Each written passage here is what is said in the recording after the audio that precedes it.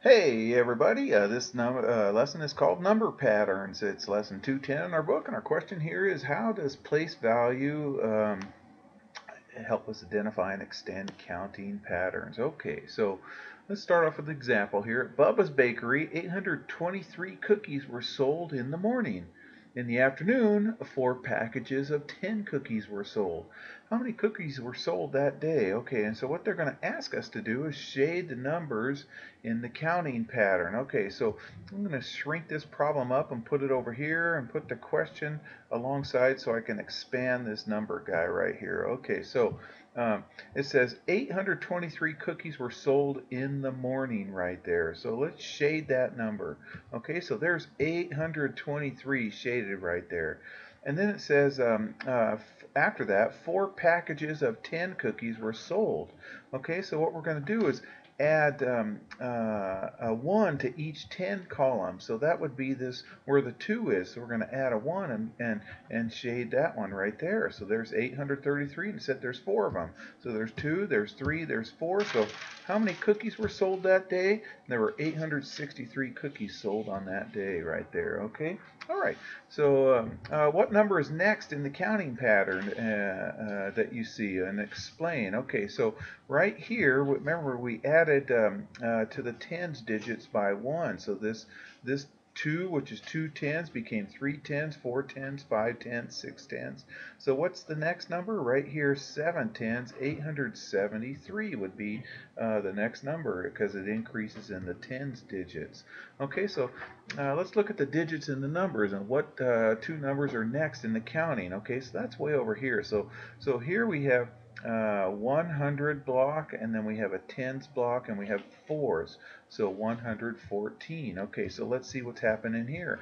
Okay so here we have two hundreds blocks. We still have the same 110 uh, which is this number 1 10 and then the four ones right there. So what do you think is going to be right here? There's going to be three of these hundreds blocks right there. So that gives us 300 110 and 4 1, so 314. So this one's going to be, we're going to just keep adding to the, uh, oops, I'm running out of juice right here, so I have about 12 minutes left. That'll be enough.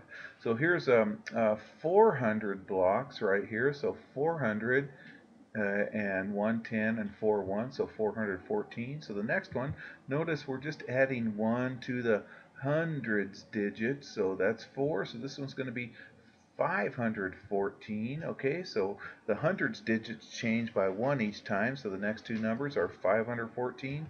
Finally, 614. Okay, let's do that with these ones. Look at the digits to find the next two numbers. Okay, so here the uh, looks like, um, uh, this is the only one that's highlighted, is um, uh, the tens digits. So the tens digits increase by one. So four, five, six, seven. So it's going to the next one's going to be 100 88. Okay, so 188 and then 198. Okay.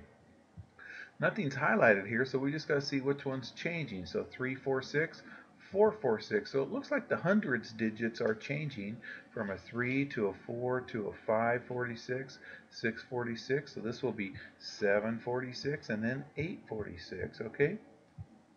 321, 421. So again, the hundreds digits are changing from 3 to 4 to 5 to 6. So this one will be 7, 721, 821. Okay, what about this one? 329, 339, 349.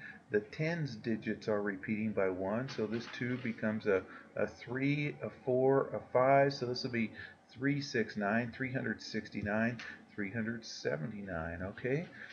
All right, so uh, Bob wrote a number pattern starting with 237. He counted by hundreds. So write the missing digit to show his pattern. So here's 237. So we're just changing the hundreds digit because that's all Bob is doing is adding hundreds. So this will be 300, same two digits for the tens and the ones. So this would be 337. Okay, and then this will be 437. Okay, so those should be right there. 537. Those don't change. And finally, 637 right there. Okay? All right, you guys. Hope you guys are having fun in your class. Take care.